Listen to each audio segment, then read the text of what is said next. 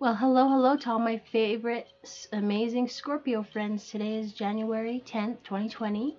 My name is Libra Empress, and these readings are general readings for your entertainment. And here is your daily horoscope.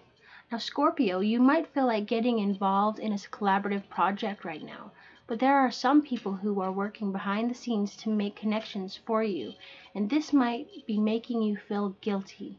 Your own ideas about where you want to go next in a relationship or career are being honored.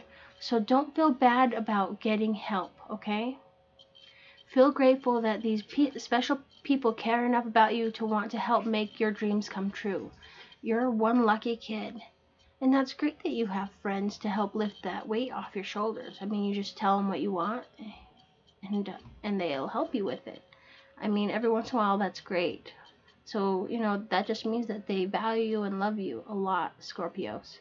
Now, thank you so much for listening to me. My name is Libra Empress. Please hit subscribe, like, and share, and join me again for tomorrow's daily horoscope. Bye bye.